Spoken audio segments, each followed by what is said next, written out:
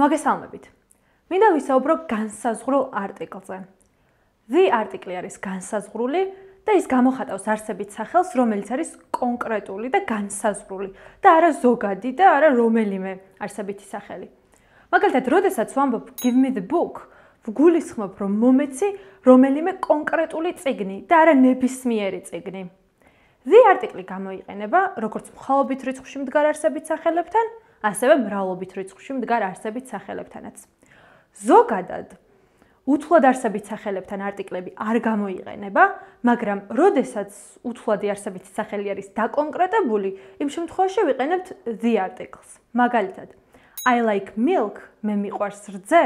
ამ შემთხვევაში ზოგადი მნიშვნელობით ვიყენებთ უთვლად არსებით სახელს და არტიკლი არ გვჭირდება. მაგრამ როდესაც ვამბობ The milk in my glass smells awful. რძეს ჩემს ჭიქაში საშინელი სუნი აქვს. ამ შემთხვევაში იმ კონკრეტულ რძეზეა საუბარი, რომელიც ჩემს ჭიქაშია და შესაბამისად უნდა გამოვიყენო the article. the article გამოიყენება მაშინაც, როდესაც თხრობას ვაგრძელებთ. მაგალითად, Jack has got a cat. The cat is black. Jack-ს ყავს კატა და ეს კატა შავია.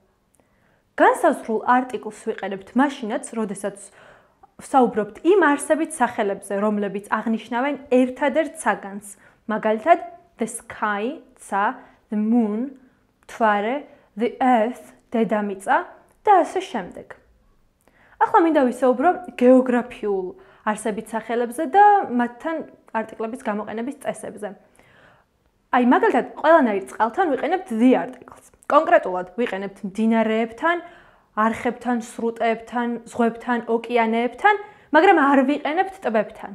The Atlantic Ocean, ატლანტიკის ოკეანე, the Thames, მდინარე ტემზა, the Black Sea, შავი ზღვა, მაგრამ Table Rock Lake და ასე შემდეგ.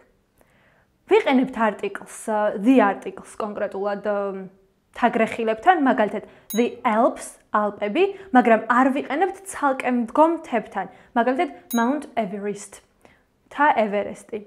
ასევე ვიყენებთ კუნძულთა ჯგუფებთან, მაგალითად the Hawaiian Islands, ჰავაის კუნძულები, მაგრამ არ ვიყენებთ ცალკე მდგომ კუნძულებთან, მაგალითად Madagascar. ზოგადად არ ვიყენებთ ქვეყნებთან, მაგრამ როდესაც ქვეყნის სახელწოდება შეიცავს სიტყვებს states kingdom, republic, ამ შემთხვევაში ვიყენებთ the articles. მაგალითად, the United Kingdom, გაერთიანებული სამეფო. და იმ შემთხვევაშიც, როდესაც ქვეყნის სახელწოდება არის მრავლობით რიცხვში, უნდა გამოვიყენოთ the article. მაგალითად, the Philippines, ფილიპინები, the Netherlands, ნიდერლანდები. ვიყენებთ the articles ოჯახის აღსანიშნად, the Smiths, სმიტები. და იმ ეროვნებებთან, რომლებიც ბოლოვდებიან SH-ზე, CH-ზე და ES-ზე. მაგალითად, the Spanish. რაც შეეხება დანარჩენ ეროვნებებს, ამ შემთხვევაში სურვილისამებრ შეგვიძლია გამოვიყენოთ არტიკლი, ან არ გამოვიყენოთ არტიკლი. ასევე ვიყენებთ the articles შემდეგ სიტყვებთან only, first და last, როდესაც ეს სიტყვები გამოიყენება როგორც ზეცართავის სახელები, მაგალითად you are the only one who supports me, ერთადერთი ხარ, ვინც ხარს მიჭერს.